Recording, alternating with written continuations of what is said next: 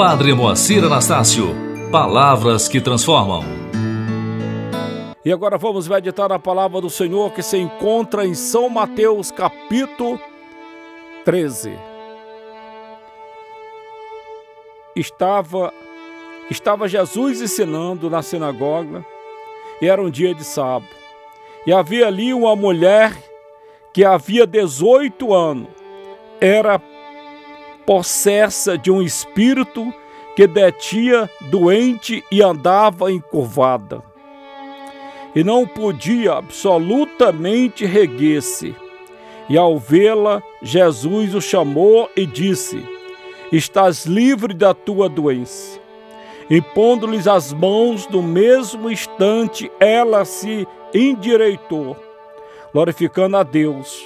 Mas o chefe da sinagoga, indignado de ver Jesus curar no sábado, disse ao povo: São seis os dias em que se deve trabalhar. Vinde, pois, nesses dias para, para ser curados, mas não em dia de sábado. Hipócritas, disse Jesus, não, não desabarra cada um de vós no sábado o seu boi, o seu jumento da manjedora, para os levar a beber?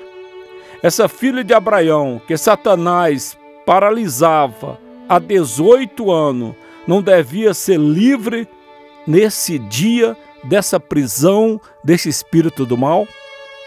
Queridos irmãos e irmãs, há 18 anos, essa mulher era doente. Há 18 anos, essa mulher encurvada. Há 18 anos, essa mulher era paralisada. E naquele sábado, em Jericó, na sinagoga de Jericó, Jesus estende as mãos sobre ela. E imediatamente ela é curada, é liberta do poder de Satanás. E o Senhor diz: Este espírito do mal que estava nela, é que deixava ela doente dessa maneira. E o chefe da sinagoga, lugar de ficar feliz e agradecido porque ele conhecia essa mulher há tantos anos, ele vai dizer porque não veio no dia da semana. Tem que vir no dia de sábado. E Jesus dá uma bronca nele, dizendo: Você mesmo desata o seu jumento e o seu boi e leva para beber. Eu não poderia desatar, libertar essa mulher no dia de sábado. O fato, amado, é que o mal existe. O poder das trevas existe, nós não podemos negar. Nós não podemos negar de jeito nenhum. Esses dias nós temos visto na internet contos rituais de feitiçaria, de bruxaria feito pela esquerda. Na esperança que aconteça o um milagre. Mas eu quero te dizer nessa quarta-feira que Deus é mais. Que Deus pode nos libertar. Que Deus pode nos curar não adianta se agarrar com Satanás. Não adianta você fazer ritual para o seu bem ou para a miséria de alguma pessoa. Se Jesus quiser, ele te liberta, ele expulsa o mal, ele te dá uma nova vida e uma nova esperança. Devemos colocar nossa fé não em Satanás, mas em Jesus Cristo, Filho de Deus vivo.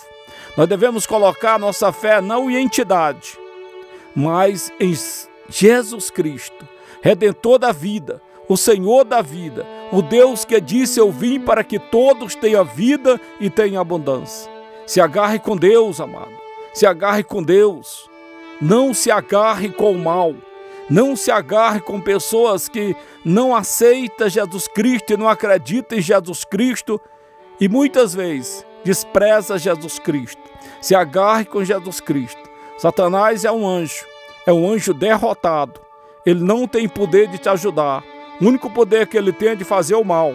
Mas no nome de Jesus Cristo, nem o mal que ele quer fazer, ele pode fazer. Por que, que ele não pode fazer? Porque ele não é nada. Ele já perdeu a graça, ele é sem graça. Quem tem graça é quem está em Jesus Cristo. Essa senhora, 18 anos era prostrada, 18 anos era sofrida, 18 anos vivia nessa situação, até o dia que ela se encontrou com Jesus Cristo.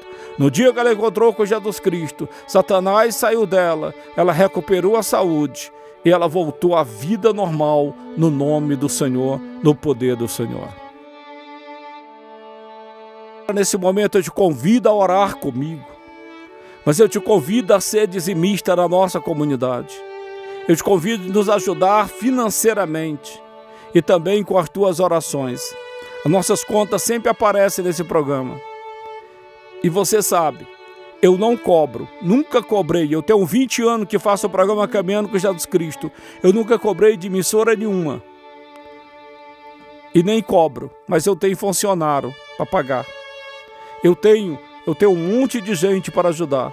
E é com a tua ajuda é exatamente com a tua ajuda que nós desenvolvemos essa evangelização e queremos que ela cresça, queremos que, elas entre, que ela entre em todas as casas, em todas as cidades, em todos os países. Nós queremos que a palavra do Senhor chegue em todos os lugares e vai chegar com a tua ajuda espiritual e financeira. Ora comigo. Deus amado, no nome poderoso de Jesus Cristo, vosso Filho, que foi fiel até a morte e morte de cruz. Nessa quarta-feira, eu te peço a libertação, a libertação da nossa vida, a libertação da nossa alma, a libertação da nossa mente, a libertação de todo o nosso ser. Nessa sexta-feira, aliás, nessa quarta-feira, Senhor, eu peço agora que nos liberte de todo o poder das trevas, de toda doença espiritual, de toda contaminação ou maldição, de todo o poder do inimigo. Que nessa quarta-feira, no nome poderoso de Jesus Cristo, nós sejamos libertos de toda contaminação, de toda praga, de toda maldição, de todo trabalho de feitiçaria, de bruxaria, no nome poderoso de Jesus Cristo, no nome da Igreja de Jesus Cristo, no nome da minha ordenação sacerdotal, eu te liberto de todo o poder das trevas agora. Eu te liberto de todo o poder satânico. Eu te liberto de toda a miséria. Eu te liberto de todas as forças negativas. Eu te liberto de tudo aquilo que fizeram na tua vida invocando o anjo das trevas.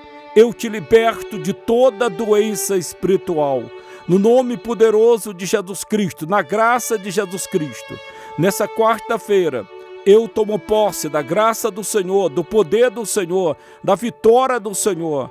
Nessa quarta-feira, eu tomo posse no nome poderoso de Jesus Cristo, da vitória de Jesus Cristo na minha casa, na minha família, no meu trabalho, nessa comunidade, na vida de todos os renascidos, nessa terra de Nossa Senhora eu expulso hoje todo o poder do mal do nosso país, da nossa cidade, no nome poderoso de Jesus Cristo.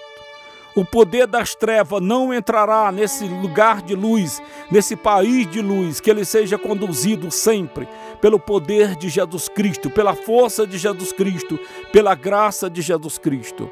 É no nome poderoso de Jesus Cristo que nessa quarta-feira eu te liberto de todas as forças malíguas, de todo o poder do inimigo, eu te liberto de tudo que não vem de Deus.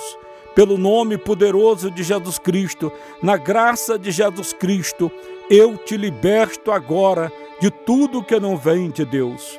É no poderio de Jesus Cristo e na graça de Jesus Cristo que todas as correntes serão quebradas no nome de Jesus Cristo, que todas as raízes do mal serão arrancadas no nome do Senhor, que todo o poder das trevas saia da tua vida agora, no nome de Jesus Cristo que fez o céu e a terra. É no poder dele, na graça dele, na força dele que eu te liberto agora, amado irmão, amada irmã, de toda doença espiritual de todas as doenças que passaram de geração em geração até te atingir como uma flecha satânica.